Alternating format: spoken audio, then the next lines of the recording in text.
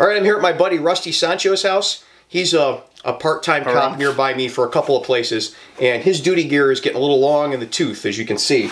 So we're going to set him up with a brand new belt and vest cover, and I figured we'd take you all along for the ride of how to set up these new MOLLE belts and MOLLE vest covers. A lot of departments are switching over to them, and I get a lot of questions from people on how to set them up, like how to thread things through MOLLE and, and how to put them in the proper order. So we're to take you down to the tabletop, show you his old stuff, and then we're to set up the new duty belt and vest we got from Safe Life Defense. So this is his setup currently. He's got a Bianchi belt, uh, some more Bianchi pouches. He's got his Monadnock uh, baton holder and a the probably the oldest Monadnock baton, extendable baton I've ever seen. That's in continue like continuous use. This thing's probably older than me. He's got a Red River Tactical holster over here, uh, just kind of attached with a, a Blade Tech clip. We're going to try to change that for him in the future, get him a Safariland UBL for this or something. And he's got uh, two handcuff pouches in the back.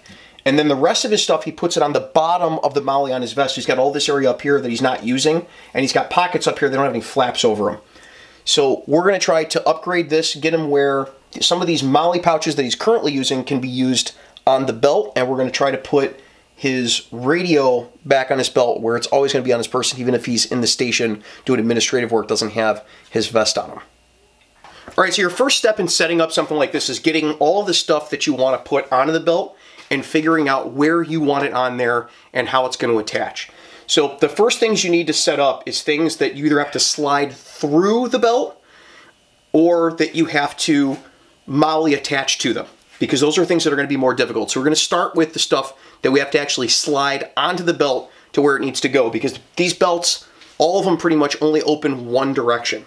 So if you've got a UBL clip for your duty holster or you've got a Safariland brand or Bianchi brand pouch that you have to slide on like a mag pouch or something like that, you want to put those on first and then you attach everything that mollies onto the belt because you're going to need a lot of dexterity in that belt. You don't want to have a bunch of stuff clipped to it because when you put it in there, what you're going to do is you're going to take a, a butter knife and slide it through all the MOLLE and then replace the butter knife with whatever your MOLLE clip is that you're going to use to attach into it.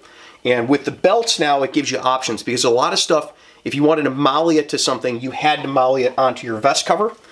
Uh, now you have the option of putting any MOLLE product on the vest cover or on the belt. So it gives you a little more flexibility with these new style of MOLLE belts. So we're going to start off there. Uh, the first thing that we have that's going to just slide on there is going to be a mag pouch. We're going to throw that on there for you. And then we've got some stuff that needs to be mollied on, like our Maxpedition dump pouch over here. And then I've got our Allegiance holster uh, mag pouches over here. There's actually a coupon code for those down below if you're you're interested in those. These attach really easily. They're a great little mag pouch. And then we're going to do things that just kind of Velcro over the top, like the radio pouch. We're going to start with stuff that has to slide onto the belt. All right, so we're going to start off with, on our Safe Life Defense belt, you got a Cobra buckle up in front here. And in order to slide things on, you can see one side of this buckle is attached permanently.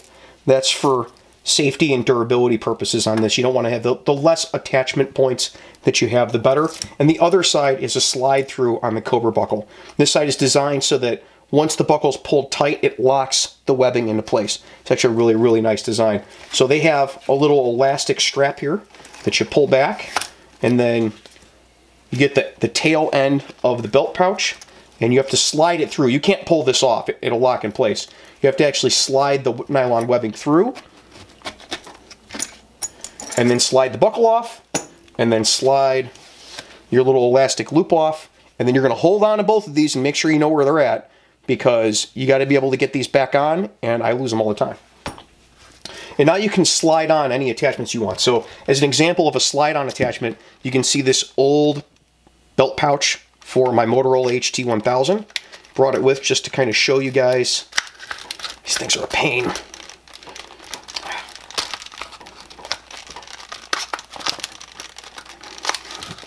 Oh, there it goes. So you want to take the radio or anything else that's extra on your pouch off. So you have just the part that goes onto the belt. And then you just slide the belt loop onto whatever you're attaching. So we're going to slide that on, and then you slide it into place. Because if I attach, Molly attach things onto this belt, or clamp attach things onto this belt, then I have to take them off and move them in order to slide my in-placed products on there. So one solution for having to deal with things like this is better pouches. And today we're going to be attaching on here this turtleback pouch for our new radios, which this is the, the Motorola APX 7000 series. And turtleback has this pouch where you've still got a, a mount, mounting a metallic, you've still got a metal metallic clip, but it attaches onto the belt via Velcro. So you just Velcro that onto the belt wherever you want it. So we can actually put this on last if we want to and have to, instead of having to worry about it. Uh, most holster pouches, sorry, most holsters have to be attached via the slide through method. So it's important to get your pistol mounted up where you want it first. So once you've got everything on the belt that you want to be able to slide onto it in the order you want to slide onto it, and you've got them where you want to put them, you're going to put your buckle back on, which means we're going to put our little elastic holder on there that's going to hold the end of the belt on our adjustment, and then we're going to attach our Cobra buckle back on to the webbing.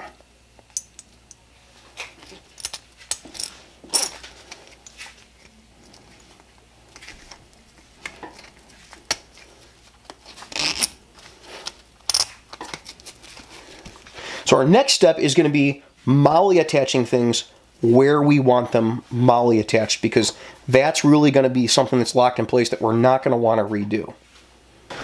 So we're going to start off with our new taser mount. Uh, this is a platform mount for a taser that just slides onto MOLLE webbing. Now, this type of platform mount won't work really on the micro MOLLE on these belts because it's only two rows of MOLLE. But if you've got multiple rows of MOLLE and you want to be able to attach these on, what we're going to do is we're going to put this on his vest close cross draw so that it's not going to get confused with his pistol. It's up on his vest, up high on the vest, but it's going to be attached up where he can easily get to it with both hands and it's going to be set up where he's not having to reach all the way across himself to get the pistol from the other side. So to attach these is pretty easy. Uh, you need a screwdriver and you unscrew the clip attachment that comes on it and then screw the platform back onto it. I'll put a link down below to the platform where you can go and get one of these and where you can get the Blade Tech pouch here. And these attach onto the Safe Life Defense uniform carrier with the MOLLE on the bottom or their tactical carrier uh, pretty easily. All you have to do is line these up where you want them and it all snaps on as one piece. So we slide underneath. You can use a butter knife if you want to to get these up. Sometimes MOLLE is a little tight. And then once you get them slid in there, and you get them all hooked under at once, you press down until you get them locked into place.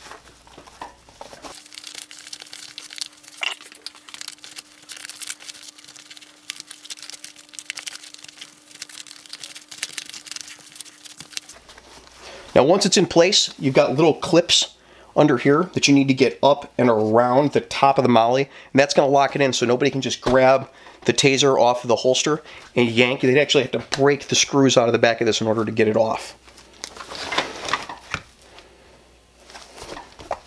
So we're going to take our butter knife again, push down on the MOLLE webbing, and then pull up on the clip to pop it underneath.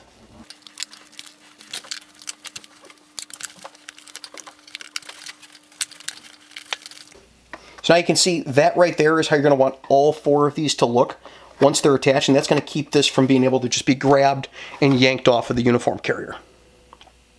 So next we're going to be attaching the extra pouches that we want to mount onto this vest. Now if you're dealing with a flexible pouch, it helps to take the armor out of the carrier, and then you've got two flexible materials that you're meshing together instead of a hard material, another hard material, because there's a lot of bending involved with putting things on a MOLLE, pulling the armor out really helps. So now that the armor's out of here, it's going to make it a little easier to attach pouches. We're going to be using this 511 double AR mag pouch. We're going to be attaching that to his vest cover. So with these, they're pretty simple.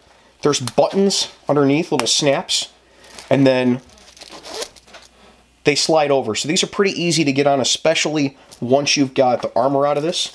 Just kind of come from the top and weave it under the loops on the vest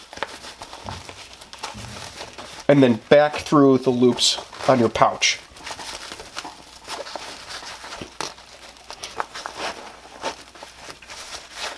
Like that, and you continue till you're all the way at the bottom.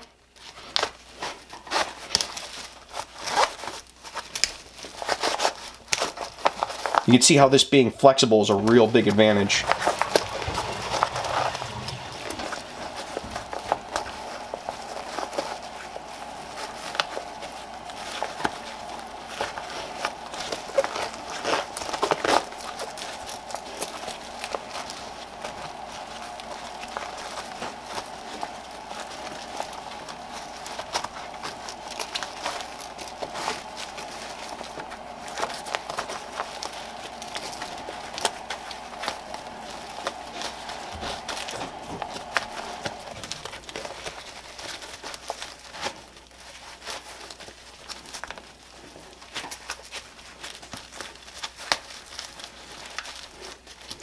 You get them all the way through, you snap them down.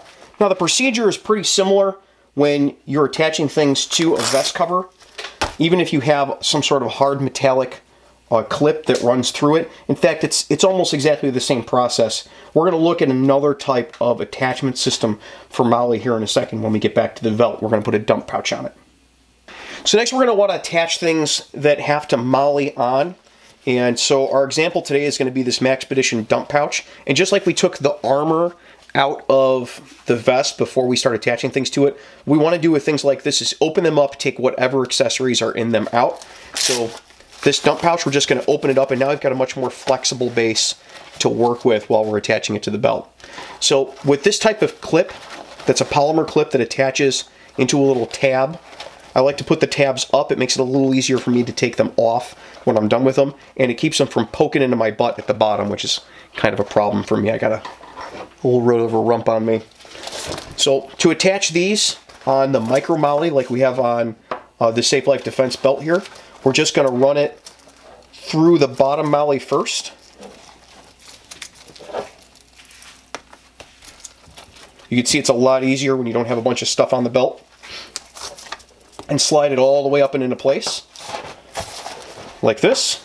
Then we're going to run it through the middle, middle MOLLE section. For this, it makes it a lot easier to throw a butter knife in there, pull up the MOLLE webbing, get the butter knife underneath our little plastic clip, and then it lets it slide up very easy, just like that. And we're going to do it on both sides.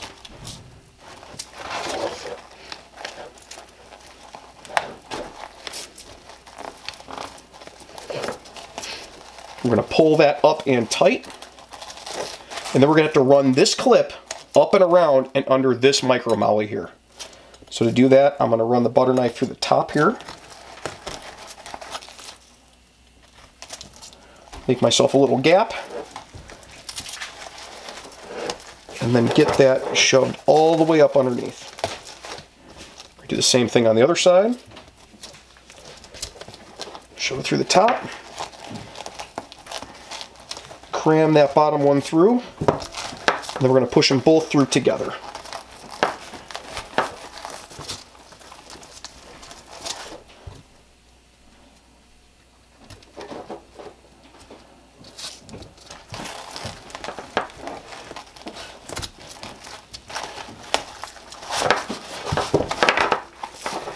Now once you have them up through, linked through the MOLLE, you just take this plastic tab and pop it in.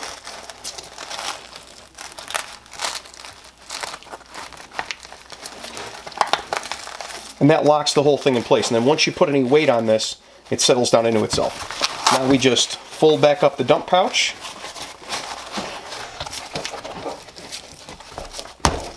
And it's rock solid attached on there. Now, once we've got everything mollied on here that we need mollied on and everything slid on that we need slid on, we can go to clipping things onto the belt. Now, modern holsters and mag pouch accessories come with clips. Now, this is one example of the types of clips. This is uh, Allegiance Holster makes this. There's a link to this and a coupon code to it down below to this pouch. They make a lot of other pouches that use this same attachment system for belts. So basically it's just a push button on the bottom and a little metal bar and you can attach this onto the belt and then you close it up and then slide this clip over and now no matter how much it gets hit it doesn't attach it doesn't detach this from the belt so it's a rock solid attachment system it pushes it a little bit away from the belt to give you clear line of sight, clear access into your pouch. I really like these little attachment points. There's a couple other clip styles we're going to use here. I'm going to show you how this attaches on here to start with. So we're going to run it around to the front of the belt. He's got three of these that he wants to attach onto the front. So right by this front buckle up at the top. So we take our pouch, slide it to where we want it. You can see from the inside here. Clip this close. You see it pops in place. And then slide the little button over. And now it's locked in. So we're going to put two more of them on here for him.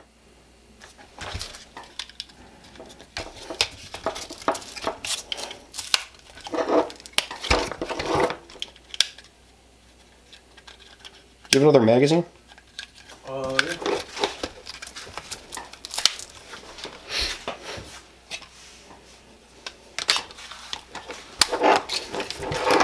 And now we've got them set up with the three mags. And the good thing about these single mag pouches that clip on and off is if later on he wants one clipped to the other side of the belt in order to do uh, strong side only reloads, he can do that without having to rebuy pouches.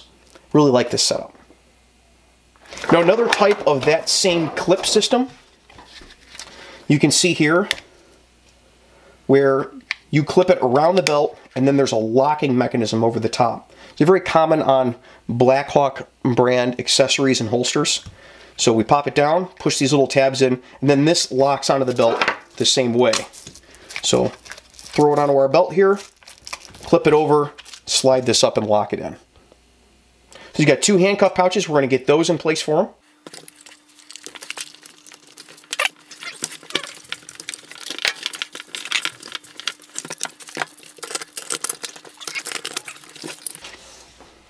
Now he's got his cuffs locked onto his belt. And again, if he wants to move these after we've got the belt set up, he's got lots of other real estate he can pop them onto because he's got clips. And if this was MOLLE attachable systems, we'd be able to move it other different places just by unsliding them. We wouldn't have to take everything off the belt in order to put everything back on again just to move one pouch. So now we've got his holster. We want to make sure we get the holster on his right side. This is something that's going to be moved around a little bit. Ordinarily, I'd suggest using a Safariland UBL or another type of holster system that's got loops on it. His holster right now is coming off of another belt. He's going to be attaching it with a UBL later. And for right now, he's got just this clip attachment. So this is going to clip the same way. Ordinarily, we would slide the gun uh, on a UBL system onto the belt first.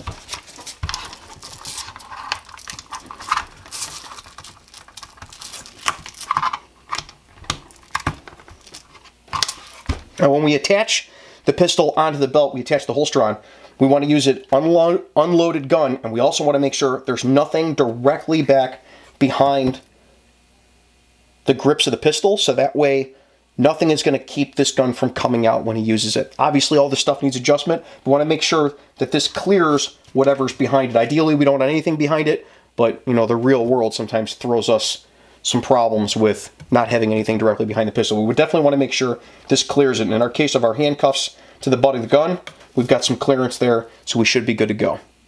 Now finally we've got our radial pouch. Uh, this one is from Turtleback. And this pouch uses a 180 degree attachment method. So just this piece attaches to the belt and it velcros on, which makes this super easy if you want to move it around from one place to the other later. We do 180 degree turn and slide this off. It's a lot better than the 90 degree turns on the stock Motorola radio pouches. The stock Motorola radio pouches are on a 90 degree turn and sometimes that causes the pouch to come off of the belt unexpectedly when you're fighting with people. Eric doesn't know anything about fighting with people though, right? Uh, no, I did watch a lot of kung fu movies growing up. Kung fu movies? I'm inspired. You're inspired? Yeah. Well, he wouldn't know anything about that, obviously. But uh, he's actually like the scariest person I've ever met in my life. But we're going to get this on there so now he's not going to have the problem with the radio coming off the belt when he's fighting with somebody. To be fair, most of his fighting is done recreationally. I'm a little concerned. You keep calling me Eric. Everybody knows it's Sancho. Everybody knows you It's Sancho. Rusty Sancho. Rusty Sancho. That's his wrestling name. All right. So once we have this Velcroed on, we just pop the radio in place and swing it around. And then this can attach to the center placket of our vest cover. So we're all ready to hit the street. We don't have to attach another thing to epaulets or anything like that. And go right to the center, and then he'd be able to grab it with either his right hand or his left hand if he's in trouble. All right, so that's how you set up one of these new micro MOLLE belts. This one's from Safe Life Defense, and luckily we're able to get Rusty a uh, a new belt here because his old one was getting kind of long in the tooth. Harumph. If you want to find any of the things that you've seen on here, all of these pouches and stuff, we've got links to all of them down below. Also got some coupon codes for some of them in case you're interested. We're always trying to save you guys a little bit of money. If you got comments or questions about the setup here or about how to get these things attached or what pouches we use and what we like and don't like about them, put some comments and questions down in the comments section down below. Until next week, you guys be safe take care of each other. Hey, thanks for watching Free Field Training on YouTube. While you're here, check out one of our other videos, or head on over to Patreon and see how you can get your name put on the videos like these folks. Or you could check out my Instagram feed. There's a link down in the description where you can catch live streams of me rapping while drinking coffee and eating a donut.